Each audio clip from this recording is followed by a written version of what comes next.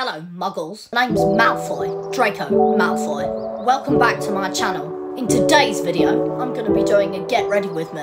As you can see, I'm already in my school uniform because I've got an early start this morning. I'm meeting with Crabbe and Goyle for breakfast, and then I've got a meeting with the Inquisitorial Squad. Harry Potter might be the chosen one, but he wasn't chosen to be in the Inquisitorial Squad now, was he?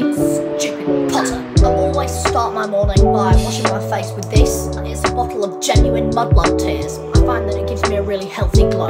I'm then to go in with a liquid exfoliator on a cotton round and um, just take that all over my face. Just look at that shine. The aim is to look as shiny as daddy's money. If you want people to know you're rich, it starts with skincare. Don't believe me? Look at a Weasley. Next thing we're to go in with this is this serum. It's made with unicorn blood extract to give you that eternal youth.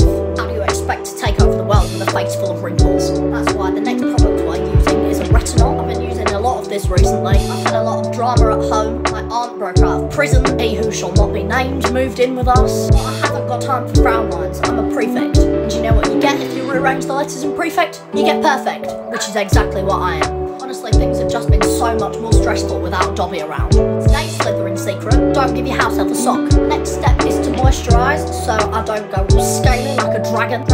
Dragons are for Triwizard tournaments, they're not a look. Next I'm using an eye cream to help cover up the bags I've accumulated. It's really hard to sleep when you're housing a dark wizard. Between the constant Death Eater meetings and karaoke Saturday, how is a young pure blood wizard expected to get any rest? Honestly, thank God for Paula's choice. Then I like to finish up my skincare with a lip balm. I'm using this one because it's cookie butter flavoured. Then it's time to move on to hair. Now, I've just had a fresh bleach, so my roots aren't showing, but if they are, I like to use this Rouge Touch Up spray. And then